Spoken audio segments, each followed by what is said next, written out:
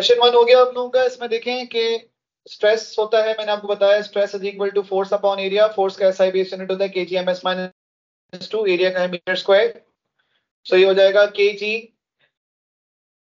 M minus one S minus two answer is A question number two पे जाएँ। Physical quantities can be classed as vectors or scalars, which pair of quantities consist of two vectors? कौन से दो vectors हैं?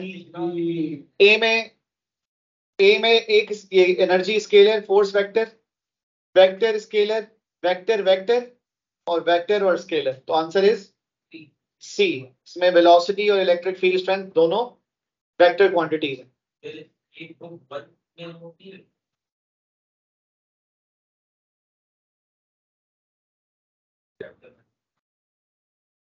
हर book में लिख सकते हैं। क्योंकि हर एक में सारे चैप्टर अभी आया एप्पल में ना उसको हम पहली बुक में नहीं लिया ये अभी ये कर लेगा ये बॉली बाद में करेगा। समझिए ऐसा प्लान याद कर लिया आप लोगों ने? Next question number three question number three solve करें।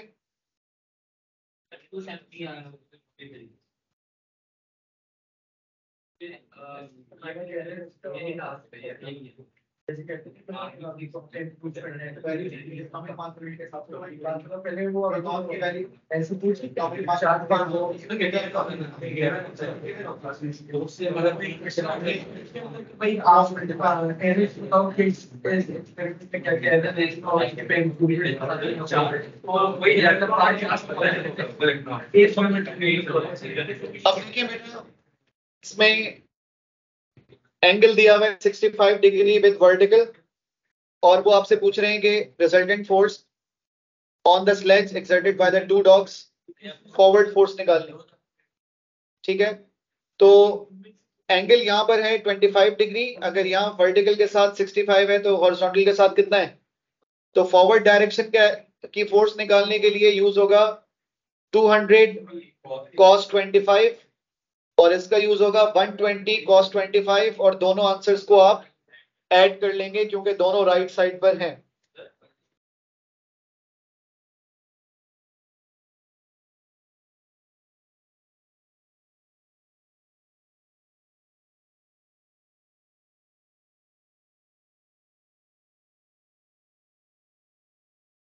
Two hundred cos twenty five से इसकी हॉरिजॉन्टल फोर्स आ गई। One twenty cos forty five से इस वाले की हॉरिजॉन्टल फोर्स आ गई है और दोनों फोर्सेस को हमने ऐड कर लेना है। टोटल फोर्स आपके पास आ रही है 270 न्यूटन क्वेश्चन नंबर फोर में देखें, आपको एक एटम का रेडियस दिया हुआ है। कितना रेडियस दिया हुआ है? 174 पिकोमीटर रेडियस है। और एटम थिकनेस इसके डायमीटर के बराबर होगी। तो पहले तो आप इसका डायमीटर निकाल लें 174 पिकोमीटर इज़ द रेडियस मैंने आपको बोला कि एक एटम की जो थिकनेस होगी, वो उसके डायमीटर के बराबर होगी। तो उसको मल्टीप्लाई बाय टू करें। शीट की थिकनेस कितनी दी गई वो है 0.125 micrometre thickness of sheet divided by the thickness of atom मतलब डायमीटर ऑफ़ एटम इससे आपको नंबर ऑफ़ लेयर्स बन जाएँगे। ठीक है? तो डायमीटर निकाला विच मीन्स के रेडियस को टू से मल्टीप्लाई कर देंगे आप पी को हटाइएगा माइनस ट्वेल्व होता है, और माइक्रो माइनस सिक्स शीट की थिकनेस आपको दी गई zero point one two five micrometre और शीट में है एटम्स की लेयर्स अगर आपको एक एटम का डायमीटर पता है तो आपको एक एटम की थिकनेस पता है. Total thickness divided by thickness of an atom से आपको मिल जाएगा number of layers of atom और वो डिवाइड करने पर आपका आंसर आ रहा है फोर हंड्रेड करके देखेंगे। ठीक है? नेक्स्ट क्वेश्चन है क्वेश्चन नंबर फाइव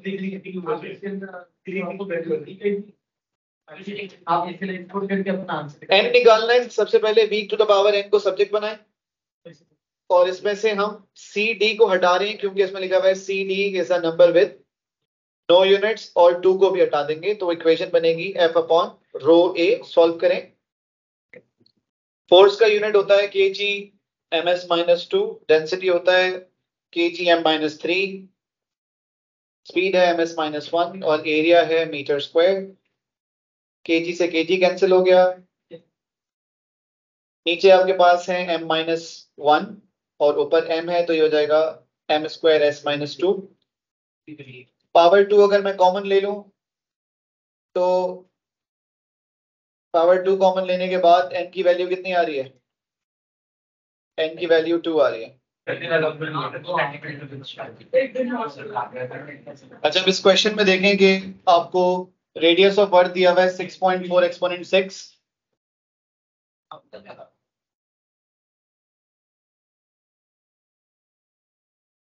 metre और रेडियस ऑफ़ मून दिया हुआ है वो है वन पॉइंट सेवन एक्सपोनेंट मुझे इसका रेशियो बता दें जल्दी से। Six point four upon one point seven कितना हुआ?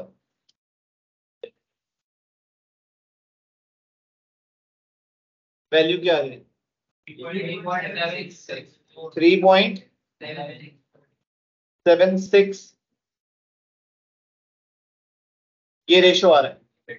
इसका मतलब है कि the earth is almost four times the earth is almost four times the moon अब वो कह रहे हैं कि student wishes to build a scale model of the solar system in the classroom using a football football का radius कितना है? 12 centimetre की फुटबॉल है। Radius which object would best represent the moon तो मून इससे चार गुना छोटा होना चाहिए ना। तो जरा 12 को डिवाइडेड बाय फोर करें। तकरीबन तीन सेंटीमीटर आ गया। तीन सेंटीमीटर रेडियस का कौन सा ऑब्जेक्ट यूज़ होगा इसमें से बताएँ? कौन सा ऑब्जेक्ट है जिसका रेडियस तीन सेंटीमीटर के बराबर? चेरी का डायमीटर तो तीन हो सकता है चेरी का रेडियस तीन नहीं हो सकता। जी? आप गोल्फ बॉल कभी देखिए तो फिर छोड़ दें आप। गूगल करो गोल्फ बॉल का रेडियस कितना होता है पता बेटा तो इसलिए आपको रिसर्च करनी है ना। टेबल टेनिस वाली जो बॉल होती है, उसके करीब करीब ही होता है। आपने इनमें से वो ऑब्जेक्ट सिलेक्ट करना है, जिसका रेडियस तीन सेंटीमीटर या डायमीटर छह सेंटीमीटर के बराबर है।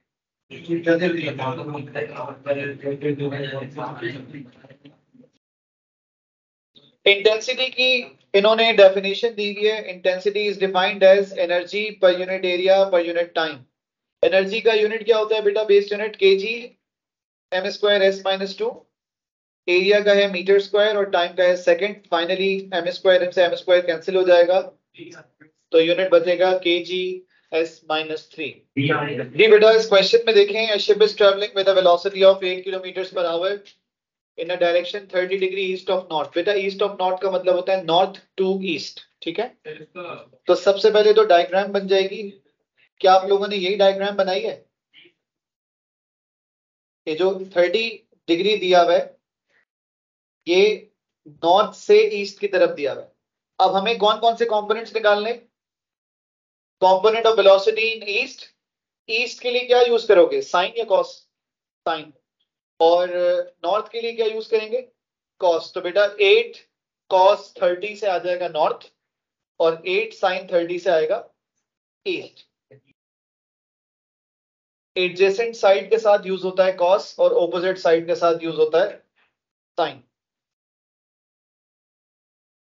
तो इसलिए इसका आंसर आ रहा है B four and six point nine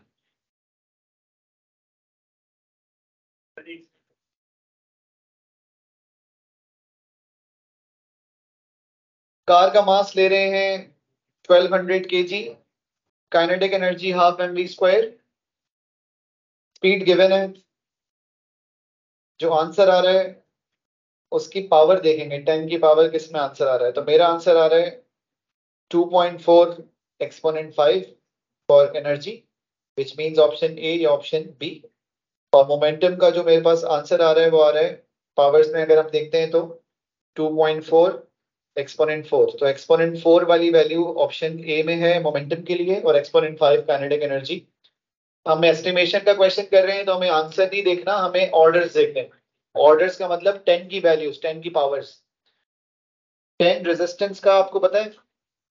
B upon I होता है। और मैंने इसको कहा था कि आप याद भी कर लीजिएगा यूनिट याद होगा तो सॉल्व करने की ज़रूरत नहीं पड़ेगी, इसका आंसर है k g m square s minus three A minus two notes में मैंने पूरा सॉल्व करवाया हुआ आप लोगों को कि रेजिस्टेंस का किस तरह ऐसा बेस यूनिट निकालना है। Then question number eleven scalar और वेक्टर क्वांटिटीज की लिस्ट कौन सी है इसमें? एरिया करंट ये हमारे पास है। एरिया करंट और वर्क स्केलर है फोर्स वेक्टर है। ठीक है तो हमने वो लिस्ट सिलेक्ट करनी है जिसमें स्केलर वेक्टर्स दोनों हो। बेटा पी और क्यू को प्लस करना है। पी बनाने के बाद क्यू आ जाएगा पी के हेड पर। Resulting from the tail of first to the head of second मुझे बताएँ कौन सा ऑप्शन है इसका? ए पीछे बुक में मैंने इसका आंसर गलत लिखा हुआ है, इसको सही कर लीजिएगा, इसका आंसर ए है। यहाँ तक कर लिया। ये उन बच्चों के लिए गलत लिखा है मैंने, ताकि पता चल जाए कौन मार्किंग स्कीम से छाप रहा है।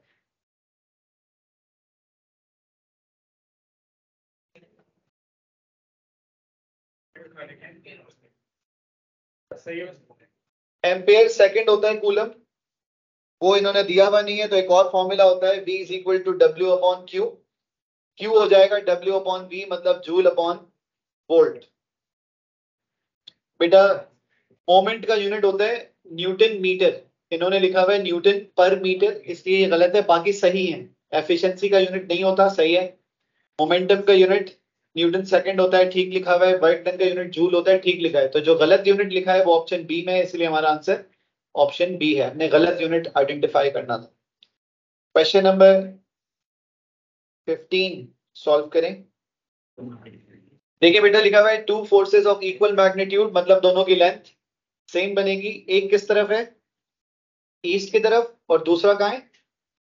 नॉर्थ और वो कहाँ से बनेगा? हेड से बनेगा। रिजल्टेंट वेक्टर होता है from tail of first to the head of second लेकिन हम उसकी डायरेक्शन को क्या कर देंगे? रिजल्टेंट वेक्टर होता है from the tail of first to the head of second लेकिन मैंने डायरेक्शन रिवर्स कर दी है क्योंकि मुझे क्या करना है? बैलेंस करना है और बैलेंस में आपको पता है क्लोज ट्राइंगल बनता है। इक्विलिब्रियम की बात हो रही है। अब मुझे इसकी डायरेक्शन बतानी है तो मैं यहाँ पर लिख रहा हूँ north south east west resultant जो हमने बैलेंस करने के लिए रिजल्टेंट को बनाया है, वो बिटवीन वेस्ट और साउथ आ रहा है। तो कौन सी डायरेक्शन होगी? ठीक है?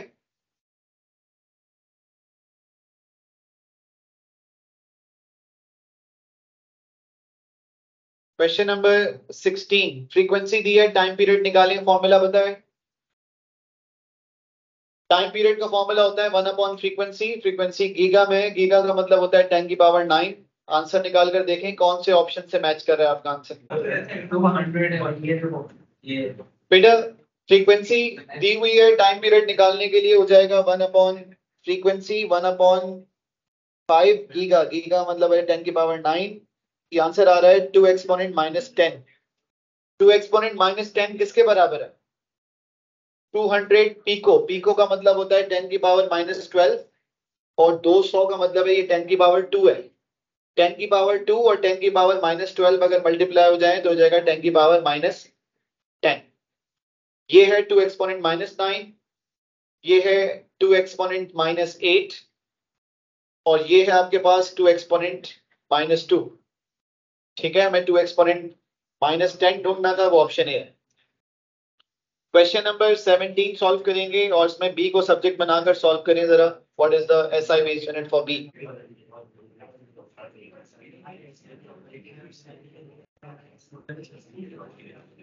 joule per kilogram per kelvin और टेम्परेचर का होता है केल्विन जूल को हम लिख देंगे k g m square s minus two per kilogram per kelvin k g से के जी कैंसिल के जी और ये के जी कैंसिल हो गए. M square s minus two K minus four answer is B question number eighteen edit मैंने आपको एक question इससे पहले भी कराया था. तो अगर ये एक्स है और ये y है तो ये z जो है वो इन दोनों का रिजल्टेंट होगा। तो हम according to given information wind is blowing from from west का मतलब है टूवर्ड्स ईस्ट तो मैंने 85 किलोमीटर पर आवर ये वाला जो है it is representing this 85 kilometre per hour resultant कहाँ पर होना चाहिए बेटा? तो ये आ गया ये आ गया आपके पास north resultant speed of aircraft in still air कितनी है? और अगर उस पर स्पीड एयर रेजिस्टेंस एक्ट करिए कहाँ से? From west to east 85 kilometre per hour की हवा चल रही है। फाइनली उसने ट्रेवल कहाँ करना है? तो बताएँ कि यहाँ पर सॉरी ये थीटा कितना आना चाहिए इसका? वैल्यू नहीं पूछी इन्होंने, सिर्फ़ एंगल पूछा है। ओपोजिट और हाइपोटेन्यूज का क्या रिलेशन होता है? तो मैंने बताया कि ये z है, ये x है, ये y है तो हम कह सकते हैं कि this is the resultant of x and y which is z. Sine theta बराबर होता है ओपोजिट अपॉन हाइपोटेन्यूज ओपोजिट हमारे पास 85 है हाइपोटेन्यूज 200 तो 25.2 डिग्री आ रहा है, और अगर हम इसमें देखते हैं 25.2 डिग्री यहाँ पर बन रहा है और ये एंगल नॉर्थ से वेस्ट की तरफ़ है 25.2 तो हम इसको इसलिए कह रहे हैं west of north west of north का मतलब होता है north to west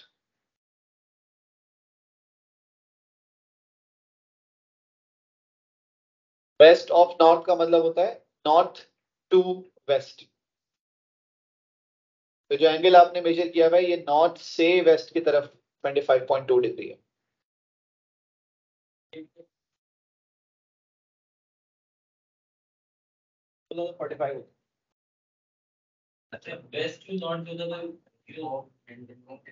next question question number 19 k g m square s minus two किसका यूनिट होता है? एनर्जी का यूनिट होता है जो बराबर है जूल के। ठीक है? देन क्वेश्चन नंबर ट्वेंटी इसमें एल के यूनिट्स निकालने। फोर बाय को इग्नोर कर दें आर स्क्वायर की जगह आ जाएगा मीटर स्क्वायर सिग्मा यूनिट दिया हुआ है वॉट वॉट होता है पावर का unit k g m square s minus three तो उसकी जगह पे आ जाएगा k g m square s minus three watt की जगह पे into m minus two K minus four और ये मैं पूरा यहाँ, ये पूरा जो यूनिट है, यहाँ लिख रहा हूँ सिग्मा की जगह पर. सिग्मा का यूनिट है k g m square s minus three m minus two K minus four बाकी बचा टी की पावर फोर टी टेम्परेचर तो आ गया के की पावर फोर के फोर और के माइनस फोर कैंसिल हो जाएँगे. एम माइनस टू और एम स्क्वायर कैंसिल हो जाएँगे तो फाइनली बचेगा k g m square s minus three question number twenty one उन्होंने v पूछा है, v is the resultant velocity resultant velocity होती है निकालने के लिए पाइथागोरस थ्योरम से हम कर सकते हैं। X square plus y square होता है। तो v square is equal to v v square plus v h square हो जाएगा, लेकिन रूट ले लेंगे वी के लिए और थीटा निकालने के लिए हम करते हैं ओपोजिट अपॉन एडजेसेंट मतलब v v divided by v h का inverse so answer is B Question number 22. What is equivalent to 2000 microvolts? तो 2000 माइक्रो का मतलब होता है माइनस सिक्स वोल्ट इनमें से किस ऑप्शन के बराबर है?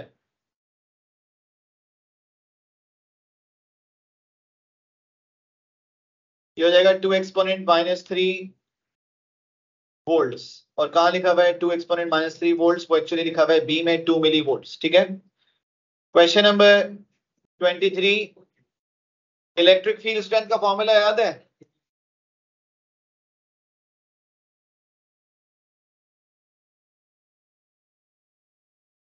इलेक्ट्रिक फ़ील्ड स्ट्रेंथ का फॉर्मूला और इसके एस एसआई बेस यूनिट्स निकालें। इलेक्ट्रिक फ़ील्ड स्ट्रेंथ के एस आई बेस यूनिट्स बताएँ। एफ़ का क्या होता है बेटा unit k g m s minus two divided by A AS.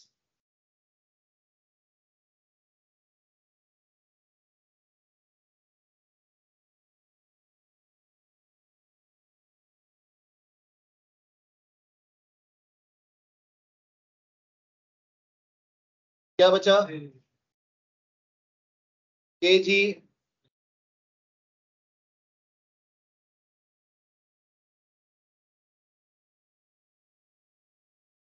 M s minus three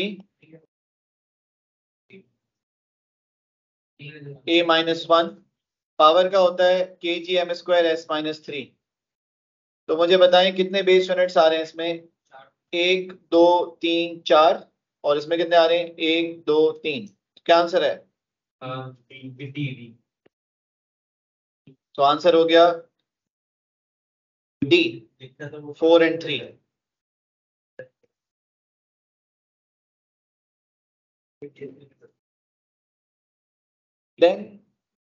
question number twenty four which equation could be use to calculate the Planck's constant Planck's constant के unit इन्होंने दिए हैं joule second तो तमाम options को solve करें, जिसमें joule second answer आ जाए। आपका मतलब जूल सेकंड का मतलब पता है ना? जूल क्या होता है? K G M square S minus two और सेकंड से मल्टीप्लाई हो गया है। तो जाएगा K G M square S minus one तो तमाम ऑप्शन सॉल्व करें, जिसका answer K G M square S minus one आ जाएगा, वो आपका आंसर होगा। मैंने वर्किंग की हुई है, आप खुद से करें वर्किंग आप वेक्टर में जाएगी 15 cos 20 तो इसका आंसर आ रहा है तकरीबन फोर्टीन अब मुझे बताएँ, ये जो सिक्स न्यूटन फोर्स है, इसका हॉरिजॉन्टल कंपोनेंट कैसे आएगा, कितना आएगा?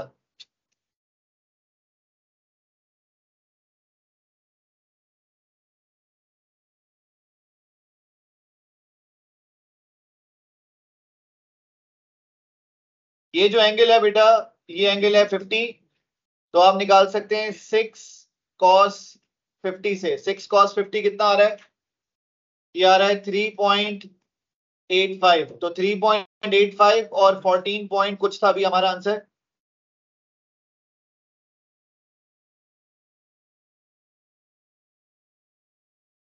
fourteen point zero nine अगर मैं इनको ऐड कर लूँ, क्योंकि दोनों हॉरिजॉन्टल हैं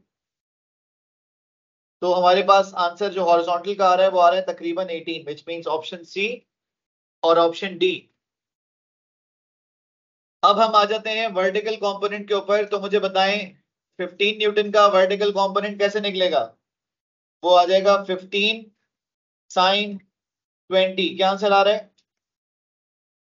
5.13 और इसी तरह से सिक्स वाली फोर्स का निकालेंगे, इसका एंगल 50 यूज़ कर रहे हैं हम लोग तो जाएगा सिक्स साइन 50 और इसका आंसर आ रहा है थ्री पॉइंट एट थ्री तो 3.83 और 5.13 अगर हम ऐड कर लेते हैं तो तकरीबन क्या आंसर ये ऐड होगा सब्ट्रैक्ट होगा?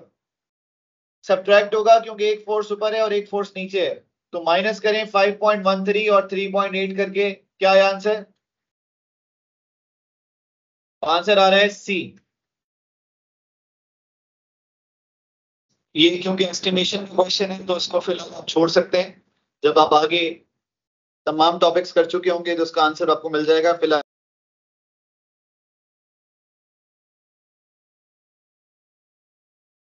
सेवन देखें, ये होमोजेनस इक्वेशन का क्वेश्चन है, और हमने तमाम इक्वेशंस को टेस्ट करना है, और चेक करना है कि कौन सी इक्वेशन होमोजेनस है विच मींस दोनों साइड्स पे उसकी यूनिट सेम है। और जिस इक्वेशन में दोनों साइड्स पे यूनिट सेम होंगे, वो हमारी करेक्ट इक्वेशन होगी।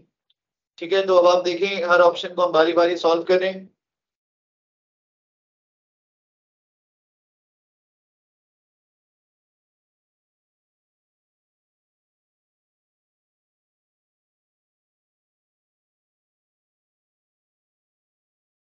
Then next क्वेश्चन नंबर 28 में हमने x is equal to Y minus G निकालना है। Z इज़ इक्वल टू अगर मैं z को सब्जेक्ट बनाऊँ तो z is equal to y minus X का मतलब है we have to add minus X in y तो y बने रहते हैं, लेकिन y के हेड से माइनस एक्स मतलब x की डायरेक्शन ऑपोजिट करके ऐड कर दें। रिजल्टेंट आ रहा है आपके पास according to this option A अपनी मर्ज़ी से आप जो है वो लेंगे। साइकिलिस्ट का मास तकरीबन 60 टू 80 केजी के बीच में और गाड़ी का मास लेंगे 600 से 700 के करीब।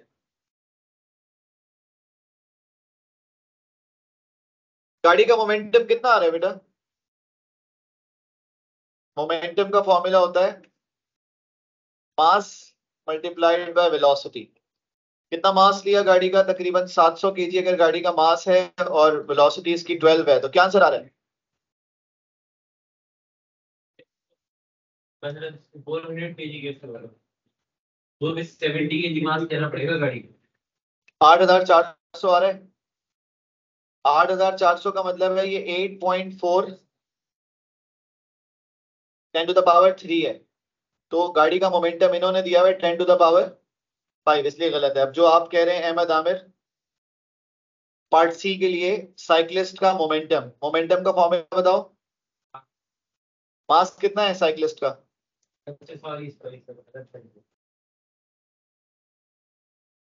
ठीक है जी, यहाँ तक हो गया क्वेश्चन नंबर ट्वेंटी नाइन के बाद question number thirty which expression इसका आंसर देंगे मिस्टर मोहम्मद साहब?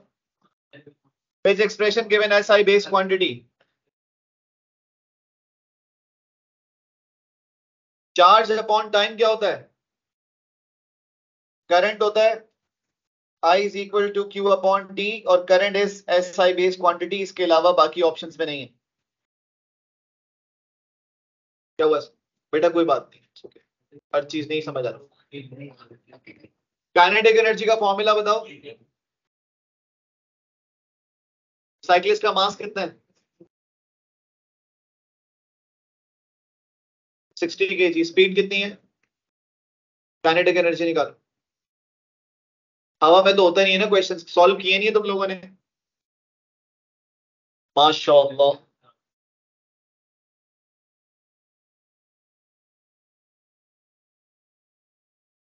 काइनेटिक एनर्जी और मोमेंटम दोनों का निकालो, फिर ऑप्शन पढ़ो।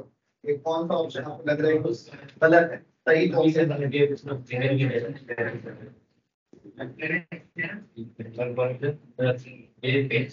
सर प्लीज़ दो हो है हो सकता है हैं जो नहीं होता बहुत सारे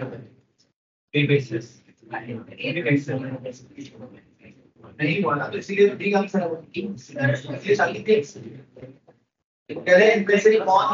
गलत है? सही सिलेक्ट नहीं करो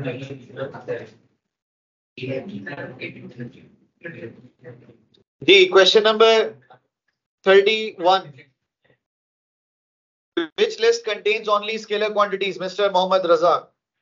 Which list contains only scalar quantities? Scalar किसे कहते हैं डायरेक्शन नहीं होती तो बताएँ किसमें डायरेक्शन नहीं है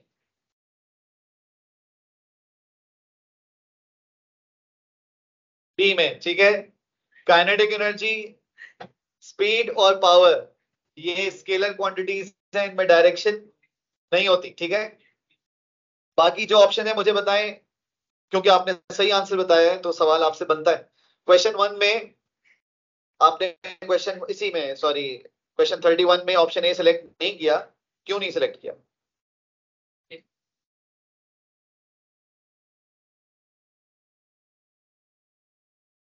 अच्छा और सी में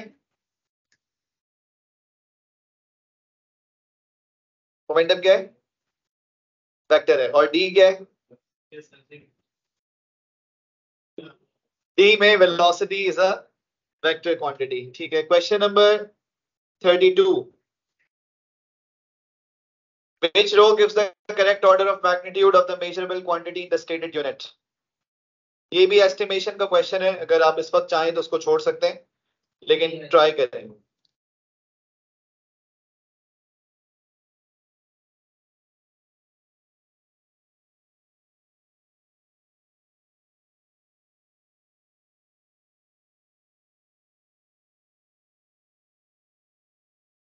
एक एप्पल का mass of a coin exponent minus four into exponent three कितना ग्राम आ रहा है? ज़ीरो पॉइंट वन ग्राम होता है, नहीं होता?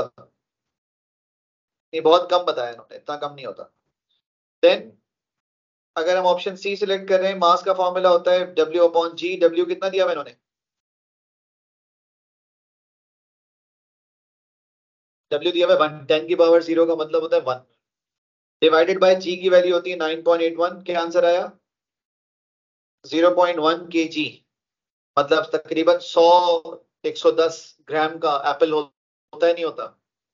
एक किलो एप्पल में, एक किलो एप्पल में कितने एप्पल्स आ जाते हैं आपके पास? वन किलोग्राम एप्पल तो तकरीबन एक का मास कितना हुआ? इसी ऑर्डर का हुआ या नहीं हुआ?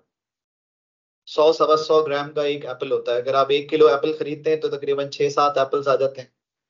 तो अगर वन थाउज़ेंड डिवाइड करें six one thousand upon six क्या आंसर आएगा?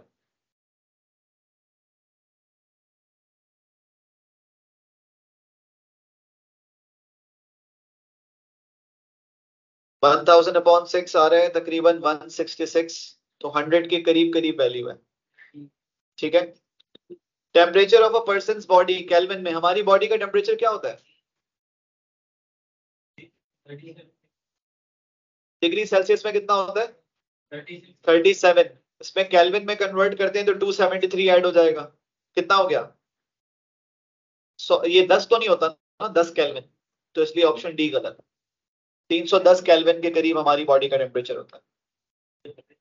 चलिए जी क्वेश्चन नंबर 33 करें। How many bits are there in one terabyte tera कितना होता है बेटा? एक बाइट में आठ बिट्स हैं और एक टेराबाइट जो है वो वन एक्सपोनेंट ट्वेल्व के बराबर है।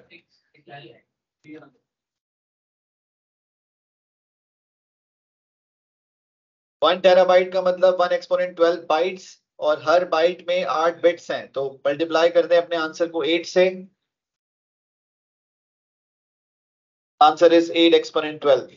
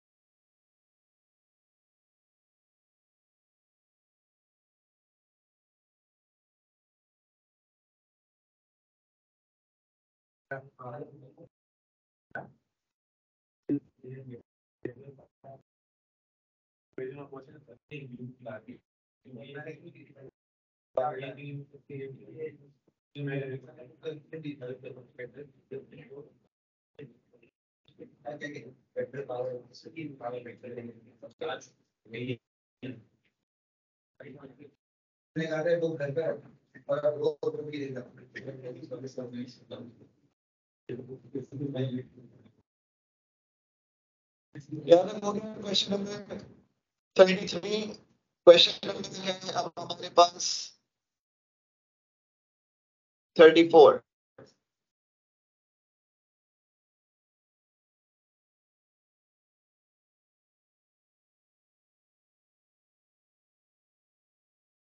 यस बताएँ mister Mohammad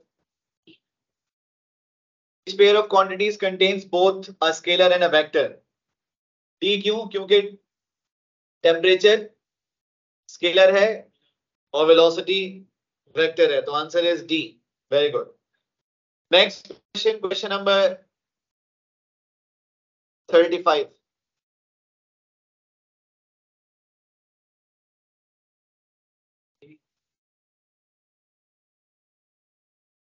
बेटा energy of car kinetic energy of car निकालें सब लोग खुद से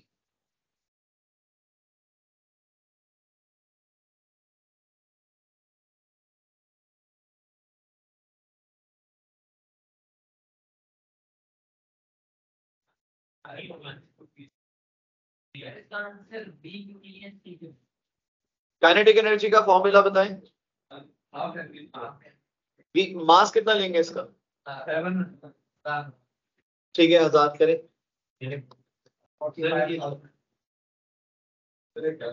Half M V square mass तकरीबन हज़ार बारह सौ अगर आप रखते हैं तो आपका आंसर आ रहा है, कितना आ रहा है? 450 एक्सपोनेंट थ्री का मतलब है 4.5 एक्सपोनेंट फाइव तो एक्सपोनेंट फाइव से ज़्यादा आ रहा है या एक्सपोनेंट फाइव से कम आ रहा है? 4.5 एक्सपोनेंट फाइव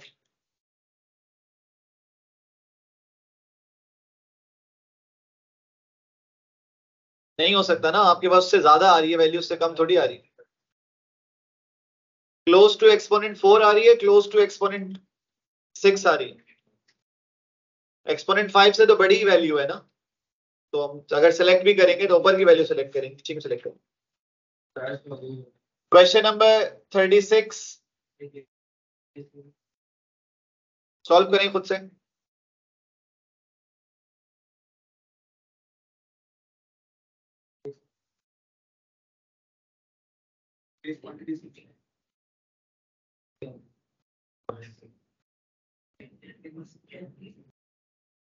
ऐसे आपका लाइफ मास टाइम में बेचा अभी को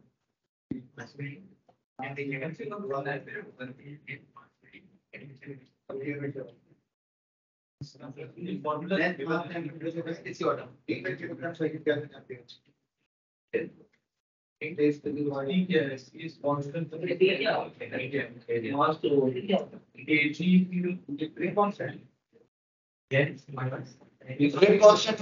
से पढ़ा था F is equal to KE K is equal to F upon E इसमें K होता है F upon E F upon E का मतलब है न्यूटन अपॉन मीटर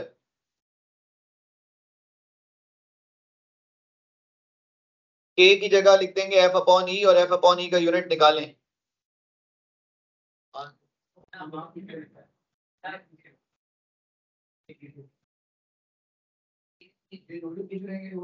पहले दिन स्कूल गए थे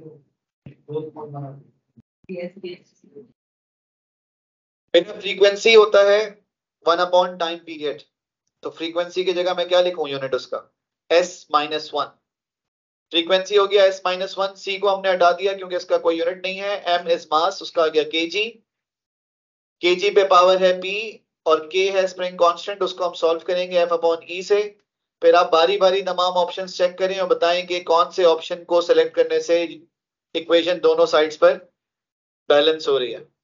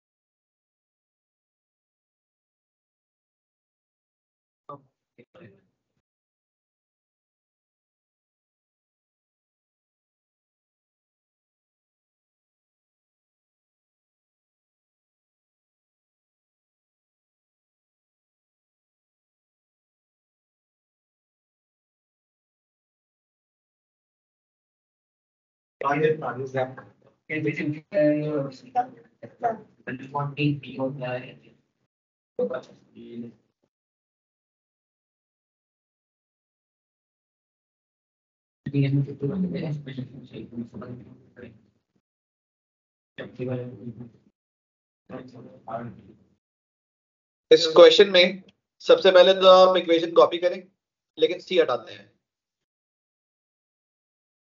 व्हाट इज़ एफ़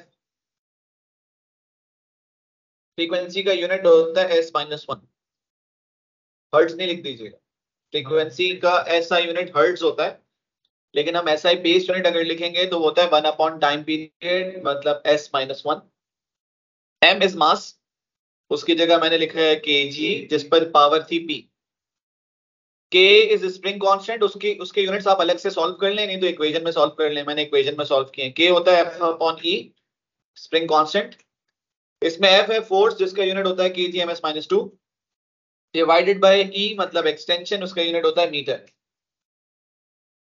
तो एफ़ अपॉन ई का जो आपने यहाँ पर लिख दिया K G M S minus two divided by meter meter से मीटर हो गया कैंसिल अब आपके पास जो इक्वेशन बच रही है ना, वो ये बच रही है, जिसमें अगर आप कहते हैं तो ये लिख देता हूँ के जी की power P multiplied by K G power Q multiplied by S minus two Q यही बनेगी ना इक्वेशन अब आप बारी बारी ना हर ऑप्शन की वैल्यूज़ यहाँ लगाते जाए। लेट्स से अगर मैं ऑप्शन ए सिलेक्ट करता हूँ तो मुझे पी की जगह क्या लिखना चाहिए? और क्यू की जगह क्या लिखना चाहिए? लगा कर देखेंगे दोनों साइड्स पे यूनिट सेम हो रहे नहीं हो रहे नहीं हो रहे हो लेकिन बी में हो रहे हैं तो अब मैं बी का सॉल्व कर रहा हूँ। पी की जगह क्या लिखेंगे? क्यू की जगह क्या लिखेंगे? तो आप मुझे बताएँ कि ये माइनस हाफ़ है और ये प्लस हाफ़ ये कैंसिल हो गए दोनों। एस माइनस टू और हाफ़ क्या बचा? माइनस वन लेफ़्ट साइड पर भी एस माइनस वन है राइट right साइड पर भी एस माइनस वन बच रहा है इसलिए ऑप्शन बी ठीक है बाकी ऑप्शन गलत है। होमोजेनस इक्वेशन का क्वेश्चन है और तरह का हम क्वेश्चन पहले भी कर चुके हैं। क्वेश्चन नंबर थर्टी सेवन करें solve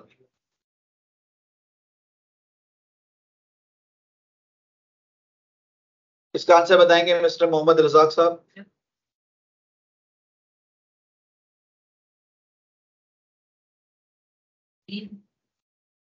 Very good answer is B जिसमें पावर और वर्क स्केलर्स हैं और डिस्प्लेसमेंट और फोर्स वेक्टर्स हैं। Question number thirty eight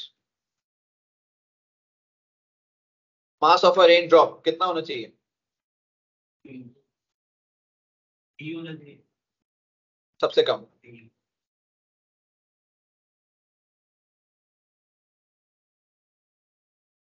question number thirty nine scalar कौन है इनमें से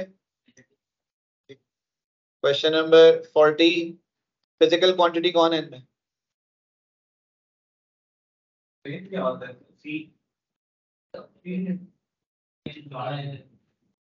है होता है एक्सटेंशन अपॉन ओरिजिनल लेंथ लेकिन इसका यूनिट मीटर अपॉन मीटर की वजह से कोई यूनिट नहीं होता। इसलिए फ़िज़िकल क्वांटिटी नहीं। तो स्ट्रेन नहीं है। कौन सा बचा?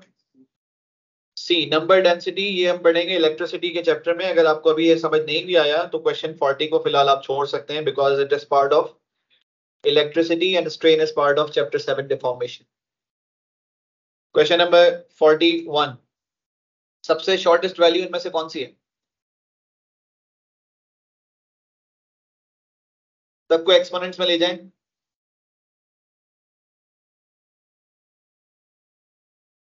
ऑप्शन बी जो है वो है फाइव एक्सपोनेंट माइनस एट ये ऑप्शन ए की वैल्यू है ये बी ये सी और ये डी तो so, सबसे छोटी वैल्यू आ रही है ऑप्शन बी में which is five exponent minus eight prefixes जिनको याद होंगे वो ये सॉल्व कर सकते हैं। जैसे ऑप्शन ए में 0.05 मिली लिखा हुआ है। 0.05 का मतलब होता है 5 एक्सपोनेंट माइनस टू लेकिन मिली लिखा हुआ था तो ये हो जाएगा five exponent minus two exponent minus three तो ये हो जाएगा फाइव एक्सपोनेंट माइनस फाइव इस तरह से हर ऑप्शन का आप वैल्यू निकालेंगे और सॉल्व करना है। This is answer question number forty two P minus R का क्या मतलब है बेटा? पी माइनस आर को हम क्या लिखते हैं? पी प्लस माइनस आर तो बेटा पी तो बने रहने जिस तरह है पी के हेड से हमने माइनस आर मतलब डायरेक्शन आर की क्या कर देनी है? तो बिल्कुल ऑपोजिट डायरेक्शन में ये बन गया ये पी है। And this is minus R resultant is from the tail of first to the head of second. This is this is p minus r मतलब x. which is option a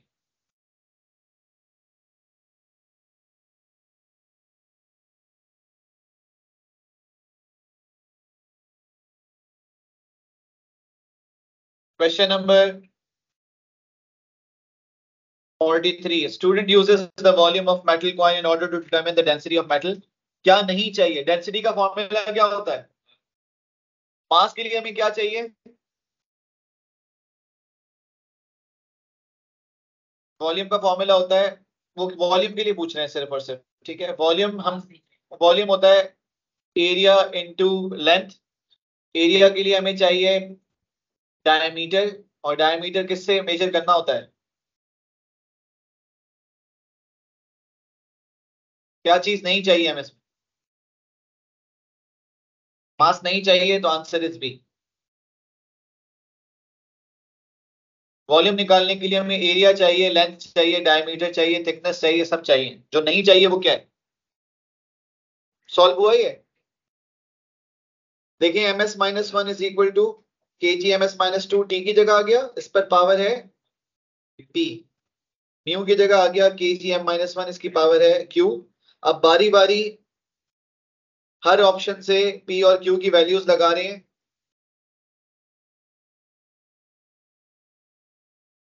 option B में देखें।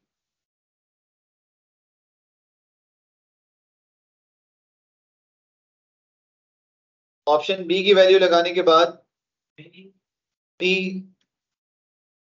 Equation balance नहीं हो रही। अब हम equation सी पे solve कर रहे हैं। M S minus one is equal to K G power half M power half और एस की power minus one K G power minus half और एम की power half K G half और K G minus half cancel M half और M half कितना हो जाएगा? Half और हाफ़ कितना होता है बेटा? वन होता है। तो एम हाफ़ और एम हाफ़ मिलाकर हो गया वन तो ये हो गया M S minus one M half M half is M और एस माइनस वन तो लेफ़्ट हैंड साइड पर भी एम एस माइनस वन है और राइट हैंड साइड पर भी एम एस माइनस वन है।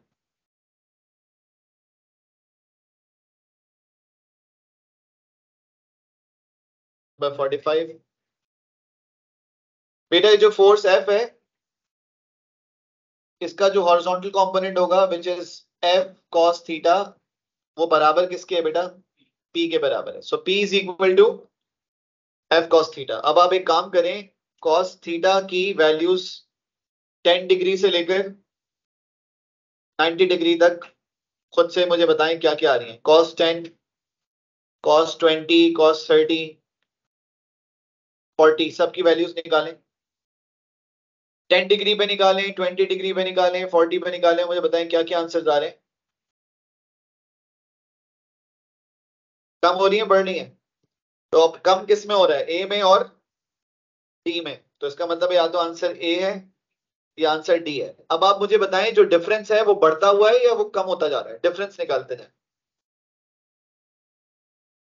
डिफरेंस बढ़ता जा रहा है तो इसलिए इसका आंसर ए है। अगर डिफरेंस कम होता जाता तो उसका आंसर डी होता। Cos ten twenty thirty, forty, fifty, sixty सबकी पहले वैल्यूज़ निकालें। वैल्यूज़ निकालने से हमें पता चल रहा है कि वैल्यू की जो मतलब आंसर जो है वो क्या होते जाते हैं।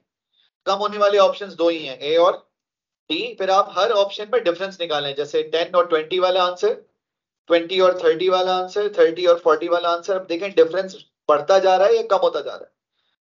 बढ़ता जा रहा है, इसलिए इसका आंसर ए है। इंक्रीजिंग ग्रेडियंट और डिक्रीजिंग ग्रेडियंट का मतलब यही है कि चेंज बढ़ता जा रहा है या चेंज कम होता जा रहा है। Reasonable estimate for the density of sand sand की डेंसिटी पानी की डेंसिटी से ज़्यादा होगी, कम होगी। ज़्यादा होगी ना? तो कहाँ लिखा हुआ है सैंड की डेंसिटी जो तकरीबन उससे ज़्यादा आ रही है? ये लिखा हुआ है 200 और ये लिखा हुआ है 2000 वाटर की डेंसिटी होती है 1000 तो 1000 से ज़्यादा वाली value 2000 kilogram per meter cube option D question number 47 which physical quantity could have units of newton second square per meter? Newton second square per meter को पहले आप सॉल्व कर लें। Newton second square per meter का ये बनेगा, s minus two और S square cancel हो गए। M और m माइनस वन भी कैंसिल हो गया तो फाइनली बचा के जी मतलब मास का यूनिट है ये N S square M minus one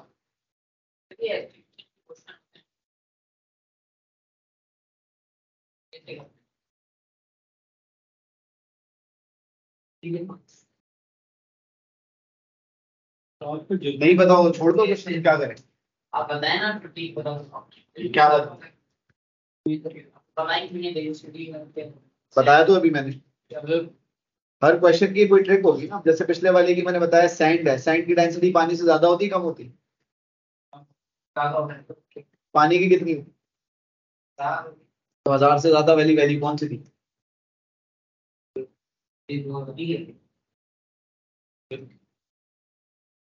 जल्दी थोड़ी हमारी हमारी तो जल्दी है। देखो एक चीज़ याद रखो। हर चीज़ पे है ड्यूरेशन काम खत्म होगा तब पे एक महीने में तुमसे एक ये काम नहीं कर सोचो इतना आराम नहीं है हमारी ज़िंदगी।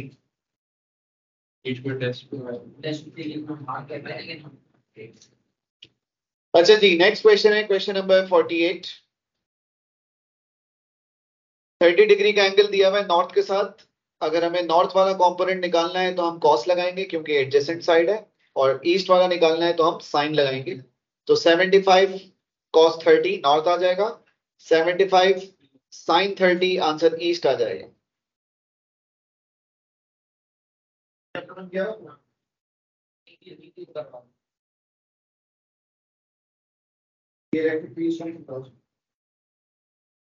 क्वेश्चन नंबर ट्वेंटी वहाँ पे तुमने रखा वो है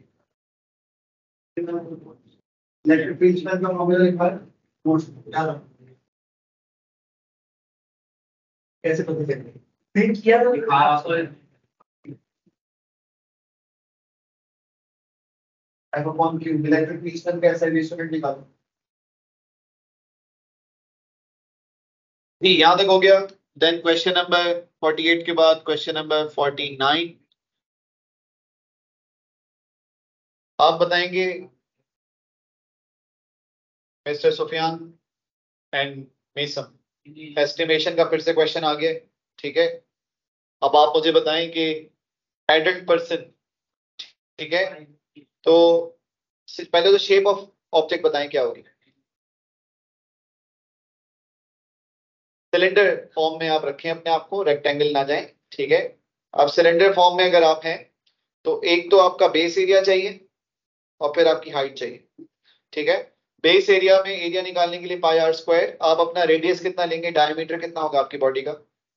तकरीबन तीस तीस सेंटीमीटर अगर आपका डायमीटर है, ठीक है?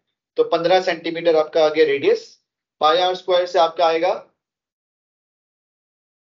एरिया और उसको आप अपनी हाइट से, एक एडल्ट पर्सन की हाइट से मल्टीप्लाई करते हैं, जो तकरीबन 170 सेंटीमीटर होती है, ठीक है? तो इससे आप बताएँ कि वॉल्यूम कितना आ रहा है?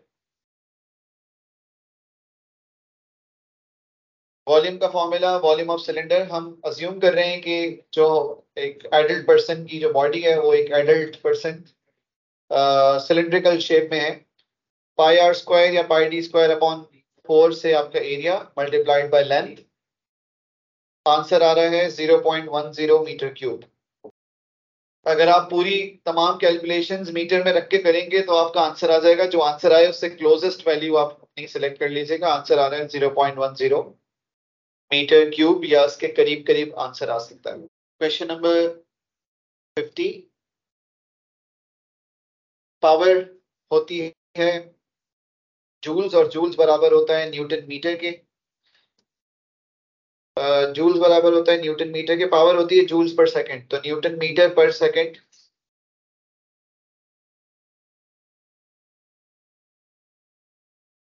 answer आना चाहिए डी किस तरह? दोबारा बता देता हूँ कि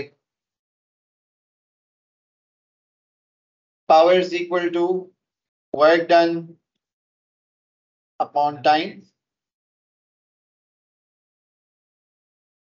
Work done होता है F into D upon T तो यूनिट अगर देखते हैं तो ये न्यूटन मीटर अपॉन सेकेंड तो इसलिए इस हिसाब से इसका आंसर आ जाएगा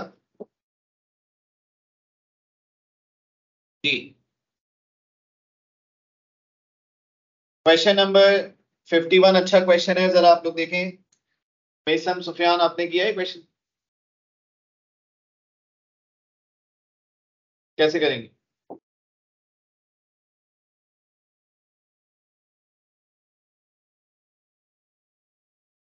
इस क्वेश्चन को सॉल्व करने के लिए मैं एक लाइन बना रहा हूँ। टेन न्यूटन के बिल्कुल पैरेलल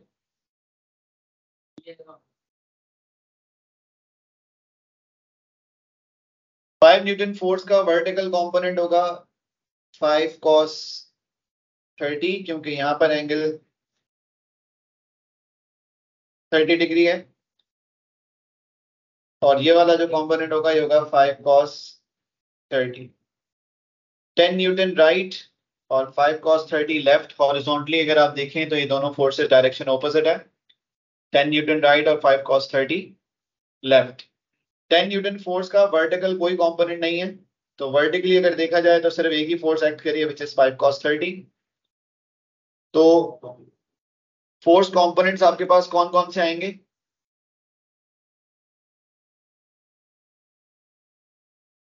एक आ रहा है फाइव कॉस थर्टी और दूसरा आ रहा है ten minus five cos thirty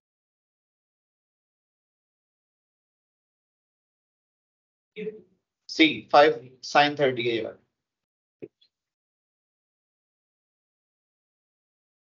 vertical में साइन लग रहा है हॉरिजॉन्टल में कॉस तो फाइव कॉस थर्टी लेफ़्ट और टेन न्यूटन राइट और यहाँ पर 5 sin 30 वर्टिकल फोर्स है 10 न्यूटन की कोई वर्टिकल फोर्स नहीं है तो वर्टिकली सिर्फ़ और सिर्फ़ एक फोर्स है which is 5 sin 30 horizontally 10 newton और 5 cos 30 दो फोर्सेस एक्ट करें Question number 52. What is not a reasonable estimate of a physical property indicated?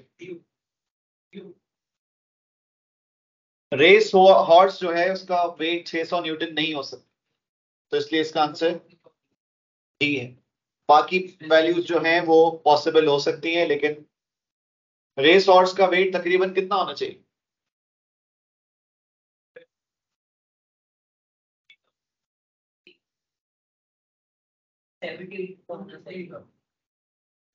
हज़ारों में होना चाहिए।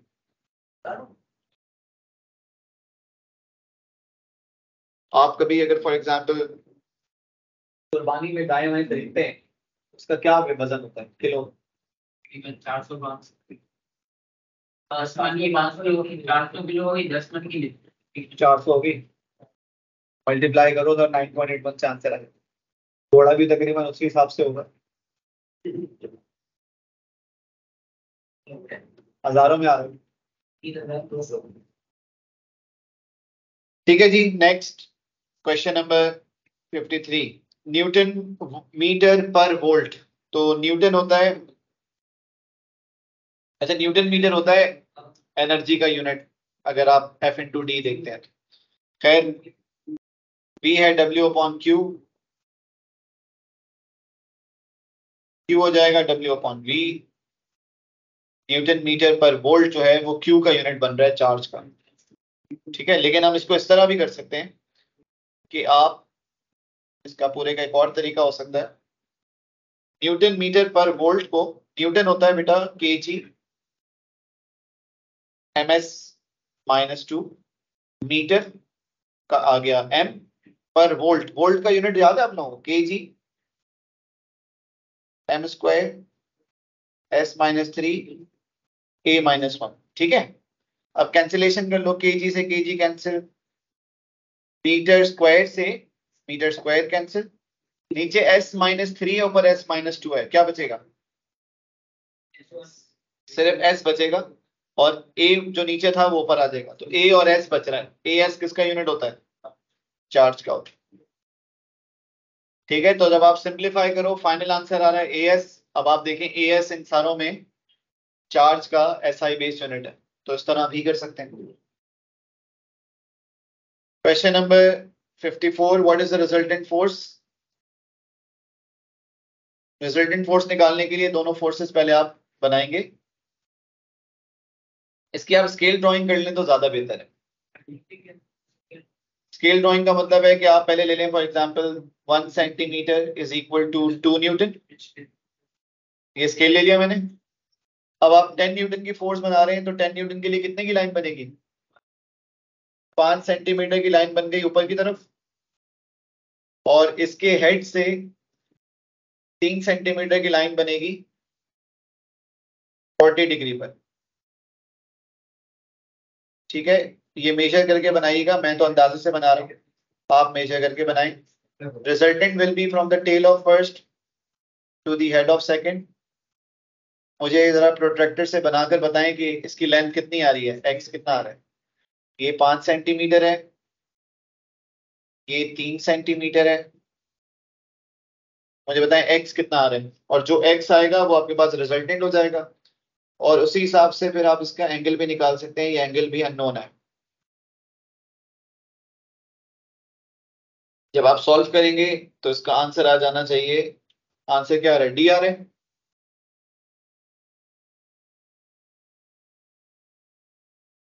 बनाकर बताएँ।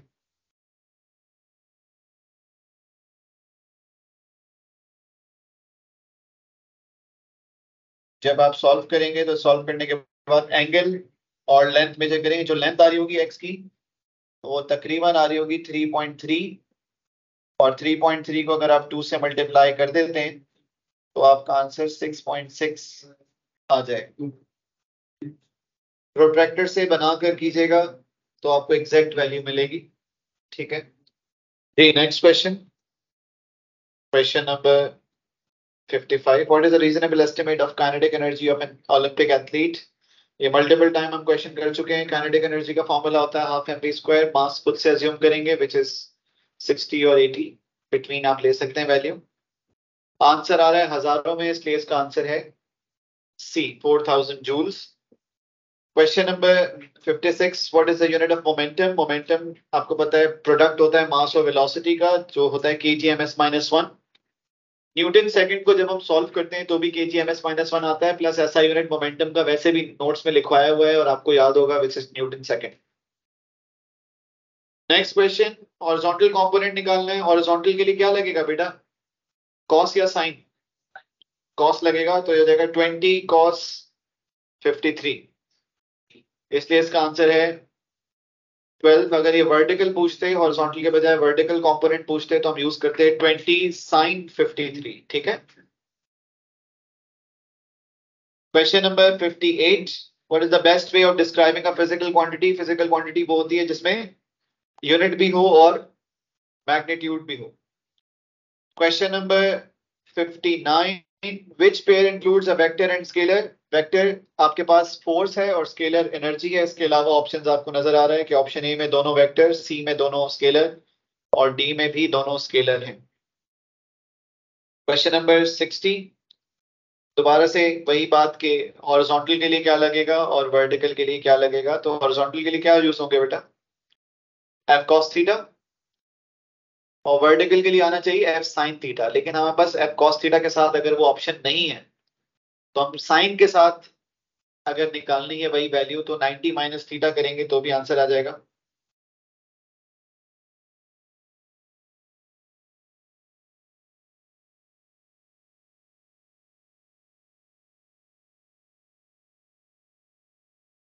ये जो एंगल है ऊपर 90 माइनस थीटा अगर मुझे यहाँ का कंपोनेंट निकालना है तो मैं इधर भी कॉस्ट लगाकर 90 माइनस थीटा जो भी वैल्यू है उसके साथ आंसर निकालूँगा।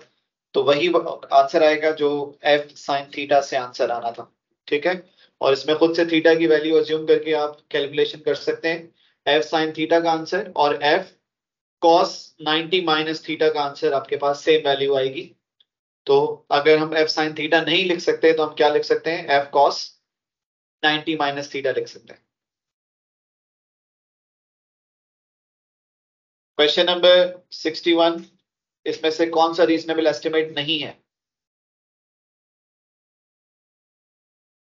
ये जो क्वेश्चन है पार्ट सी ये आपने, क्योंकि वेव्स नहीं पढ़ा हुआ तो इसलिए आप इसका आंसर ये नहीं दे सकते थे, लेकिन atmospheric pressure at sea level तकरीबन एक्सपोनेंट फाइव पास्कल्स होता है। सही लिखा हुआ है। Light takes 500 seconds to reach earth हमने पढ़ा था ओ लेवल्स में। ठीक है? और life span of a man is about two exponent nine two exponent nine को ईयर्स में कन्वर्ट कर लो तो आपको तकरीबन पचास साठ साल का टाइम ड्यूरेशन मिल जाएगा। तो डी बी और ए सही एस्टिमेट्स हैं। तो अगर आपको पता है तीन ऑप्शंस ठीक है तो जो गलत ऑप्शन होगा, गलत एस्टिमेट होगा, वही आपका आंसर है ऑप्शन सी क्वेश्चन नंबर 62 इनमें से कौन सी क्वांटिटीज के सेम यूनिट है? तो हर ऑप्शन के यूनिट्स निकालें और फिर फाइनली बता दें। तो आपको पता चल जाएगा किन किन क्वांटिटीज के यूनिट सेम है और किन के डिफरेंट हैं तो एनर्जी अपॉन डिस्टेंस का क्या यूनिट होता है बेटा? जूल अपॉन मीटर किसके बराबर है? न्यूटन के बराबर होता है क्योंकि जूल होता है न्यूटन मीटर फोर्स का यूनिट भी न्यूटन है, और rate of change change of momentum भी फोर्स को कहते हैं, उसका यूनिट भी न्यूटन है। पावर इनटू टाइम का यूनिट जूल होता है। एनर्जी का फॉर्मूला क्या होता है बेटा? तो डिफरेंट यूनिट हमारे पास ऑप्शन सी में आ रहा है power into time is joules question number 63 which group of quantities contains only vectors? इसमें सिर्फ़ वेक्टर्स कहाँ पर हैं? डिस्प्लेसमेंट फोर्स और वेलोसिटी ये वेक्टर हैं। बाकी में वेक्टर और स्केलर मिक्स हैं, जैसे ऑप्शन ए में स्पीड स्केलर है ऑप्शन बी में वर्क स्केलर है, और ऑप्शन डी में पावर स्केलर है। Question number 64 which is an SI based unit. इनमें से कौन है SI based unit? Kelvin SI based unit है. करंट नहीं है ग्राम नहीं है वोल्ट नहीं है. एस आई बेस्ड यूनिट्स आपने याद किए होंगे, पाँच हैं आपके कोर्स में. Length mass time temperature current के यूनिट्स हैं. Metre kilogram second kelvin ampere तो with base units base physical quantities आपने याद की हुई होंगी. Question number 65 osmium, naturally occurring element has a is also a value of the density of osmium? तो हमने 23000 किलोग्राम पर मीटर क्यूब के हिसाब से देखना है कि कौन से ऑप्शन में ये वैल्यू बन रही है। तो हर ऑप्शन को आप बारी बारी सॉल्व करेंगे। माइक्रो होता है। एक्सपोनेंट फोर के साथ माइक्रो अगर लिख दिया जाए तो माइक्रो माइनस सिक्स और एक्सपोनेंट फोर ये हो गया exponent minus two divided by सेंटीज minus six सही है, किलो में कन्वर्ट करने के लिए मैंने एक्सपोनेंट थ्री लगाया है नीचे। इसी तरह से ऑप्शन बी को सॉल्व करें। किसका आंसर आपके पास ट्वेंटी थ्री थाउज़ेंड के बराबर आ रहा है?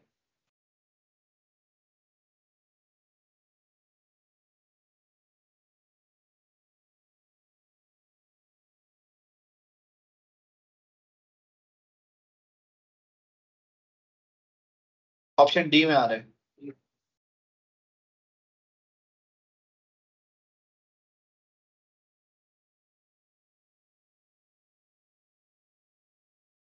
सेंटी हटाने के लिए मैंने लगाया है नीचे exponent minus six exponent minus six जब ऊपर जाएगा तो एक्सपोनेंट प्लस सिक्स हो जाएगा। तो ये हो जाएगा two point three exponent minus two exponent six kilogram पर मीटर क्यूब और ये है actually two point three exponent four kilogram पर मीटर क्यूब, और ये वही वैल्यू है जो आपको ऊपर भी दी हुई है। 2.3 एक्सपोनेंट फोर किलोग्राम पर मीटर क्यूब ठीक है तो अगर आप डी को कन्वर्ट करते हैं तो सेम यूनिट बनेगा सेम मैग्नीट्यूड बनेगा जो आपको ऑप्शन में गिवन क्वेश्चन नंबर 66 के बाद है क्वेश्चन नंबर 65 के बाद है 66 मुझे बताएँ कि फोर किलो न्यूटन की फोर्स है, ईस्ट का मतलब है हॉरिजॉन्टल। क्या लगाएँगे? फोर कॉस ट्वेंटी, और इसमें फाइव किलो न्यूटन ईस्ट निकालना है, क्या करेंगे? Five cos fifty. दोनों आंसर्स को ऐड कर लें तो आपको पता चल जाएगा कि ईस्ट डायरेक्शन में टोटल फोर्स कितनी लग रही है। फोर कॉस ट्वेंटी से आंसर आ रहा है थ्री पॉइंट एट, और फाइव कॉस फिफ्टी से आंसर आ रहा है थ्री पॉइंट टू। 3.8 और 3.2 अगर आप ऐड कर लें तो टोटल आंसर आ रहा है 7 kilo newton towards east